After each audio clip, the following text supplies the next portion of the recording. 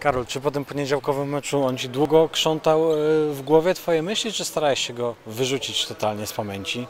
Myślę, że takie mecze jak ten y, z Gdańskiem, y, które niewątpliwie nam nie wyszły, nie wyszedł nam ten mecz, to, to siedzą w głowie, ale wyciągnęliśmy z niego wnioski, mieliśmy analizę, odprawy wideo, trener powiedział na co trzeba zwrócić uwagę, na czym się skupić. Y, Było kilka dni do potrenowania, może niewiele, ale y, liga, liga pędzi. Jesteśmy teraz w Rzeszowie i zobaczymy jutro, na ile te wnioski będą wyciągnięte.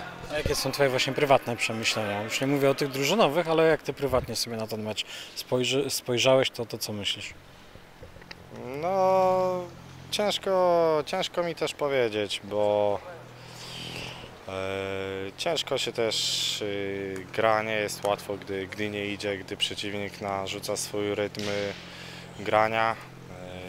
E, na pewno wtedy w głowie jest y, milion myśli i to niestety tych negatywnych. Jakie moje przemyślenia osobiste? No na pewno trzeba więcej wiary, więcej tu- entuzjazmu.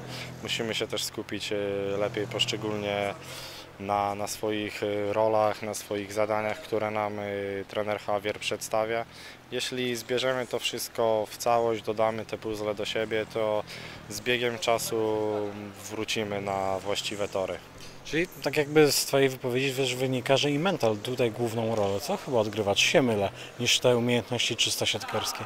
No, uważam, że to jest połączone, kiedy, kiedy jest się tak dobrze nastawionym, kiedy się gra na pełnych emocjach, to nagle ktoś podbije piłkę w obronie taką, której wydawałoby się, że nie obroni, ktoś zaatakuje w taki ekstremalny sposób, gdzie, gdzie na co dzień też tego nie robi i to się tak nakręca. Gdańsk tak zagrał, y, że, że bronili nasze ataki też y, momentami y, w sposób bardzo efektowny.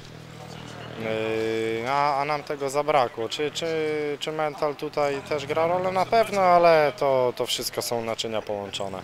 No to jedno pytanie, Rzeszów, jak powstrzymać TJ'a Defalco? Niewątpliwie ciężka, bo to bardzo dobry zawodnik.